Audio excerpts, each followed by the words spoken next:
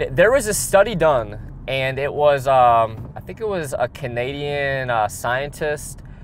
And what the study concluded was that bodybuilders compared to the average person who, say, doesn't work out, I think it was in the study like a sedentary person.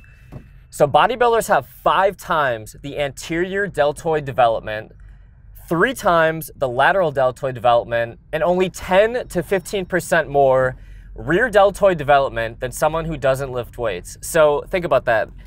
The average bodybuilder only has 10 to 15% more rear deltoid development than a sedentary person. Now, when I say bodybuilder, um, I'm pretty sure in the study they weren't measuring, you know, like Mr. Olympia competitors. They're just measuring people who have, say, like, are regular gym goers who lift weights. So I thought this is a really interesting topic because I think the one muscle group that will help anyone look astronomically better, if all you did was improve your shoulders, I think that would be the single biggest thing that you could do to improve your physique. And to prove this, I was playing around in this app and I took an old picture of myself when I had really skinny shoulders. I think I was about two years into working out.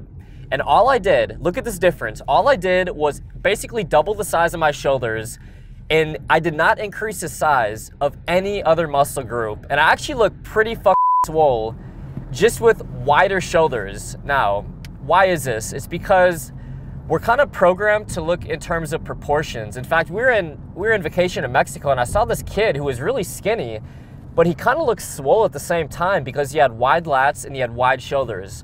Now, I didn't always have good shoulder development, and there is something that I've realized that I've correlated to my shoulder development that I did five years ago. And I went through like a three month stretch at the gym where I would do this for about five to, I think, five to six sets at the start of every single workout. And what I did is I would, uh, first of all, I'd wear straps. I'd grab a really heavy pair of dumbbells and I would basically shrug walk. I'd call them like farmer's walk with the trap emphasis. I'm sure you guys have seen them. If you follow me on Instagram, um, I posted about it a few times. I posted about this in another video. But before I started doing this, I did not have good shoulder development. Before I get into the actual superset that I did with these farmer's walks, there's slow twitch and there's fast twitch muscle fibers, right? So what this means is fast twitch muscle fibers are going to respond best to say like heavy training, explosive lifting. Well, the rear deltoids are really what gives your shoulders that 3D look. And the rear deltoids are a lot more slow twitch dominant than other muscle groups. So if the rear deltoids are more slow twitch dominant, that means that we need to train them with more time under tension, higher rep sets. So this could be anywhere from, you know, 15, 20 rep sets. Now, another problem with the rear deltoid training that I think a lot of you guys are having is you're initiating your rear deltoid movements with your traps and with your rhomboids. In fact, the rear deltoids are a really tough muscle group to uh, kind of like isolate if you're not an experienced lifter. So I've always, I thought, had really good mind muscle connection in my chest and really good mind muscle connection in my deltoids, especially my rear deltoid. In fact, I can pretty much isolate that like massive pump feeling directly in my rear deltoids. I'm doing four specific exercises that I'm going to talk about in a second that I want you guys to do. So I really, um, I've always had a great pump in my chest and my, and my shoulders when I train. In fact, much better than my biceps and my triceps. And if you look at my overall physique, I would say that my delts and my chest are probably my two strongest muscle groups. So going back to what I did a couple years ago, I think it was five years ago to be exact, I would grab these heavy dumbbells and I would walk around the gym. I'd just like pace back and forth like a madman for like 30 to 40 seconds.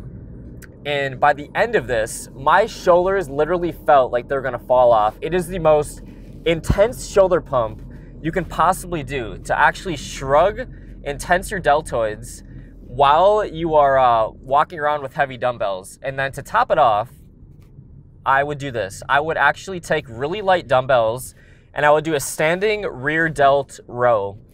So after basically pre-fatiguing with heavy overload and a lot of time under tension, I would actually take lighter dumbbells and then I would continue to pump out another 10 to 20 reps. Just doing that just doing that. Imagine how much more direct time under tension I'm applying on my rear deltoids compared to the average person who's just going in the gym and they're thinking they're hitting every single muscle group, but they're Really not. So the big takeaway from this video is you got to increase your frequency and you got to do higher rep and you got to really not ego lift with your rear deltoids. In fact, you got to make sure that you're not initiating the movement with your um, with your rhomboids or your traps. Okay, so here's the takeaway. I want to give you guys an actionable step every video. So if your shoulders are lacking, you know you just don't have that boulder shoulder, that 3D deltoid look. What you want to do is three times per week, either at the start or the end of your workout. I recommend the start so you have maximum energy. Grab a pair of heavy dumbbells. You're gonna walk around your gym, you're gonna tense your shoulders back. So try to also feel it in your rear deltoid as you do the shrug walks. You're gonna do that for 30 to 40 seconds, and then right after, you're gonna grab a light pair of dumbbells, like literally grab 10, 12.5 pound dumbbells, really light dumbbells, do another 10 to 20 reps. And then three other exercises I want you to implement into your rear deltoid routine are um, the rope face pull. This is another exercise usually done wrong. So with this one, you're going to almost mimic a uh, front double bicep as you come up. In fact, I have, I don't think I've seen anyone do this exercise properly at the gym before.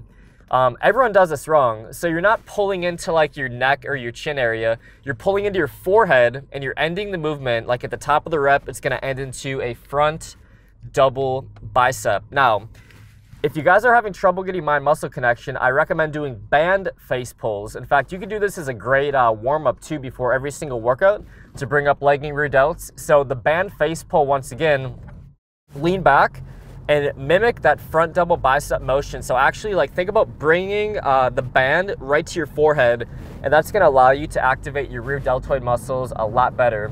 And then um, also you can do the reverse pec fly. Uh, the reverse pec fly is an awesome exercise for rear deltoid development. And then of course we have the dumbbell rear delt row, both seated and standing variation are gonna be phenomenal on your rear deltoids. So obviously uh, deltoids are more slow twitch, especially rear. Higher rep schemes really focus on light, not ego lifting, and you guys are gonna have a lot of success. So, anyways, guys, I'm gonna link to the balloon method deltoid workout that is very rear deltoid focused as well. Um, it was actually the very first balloon method workout I filmed on this channel.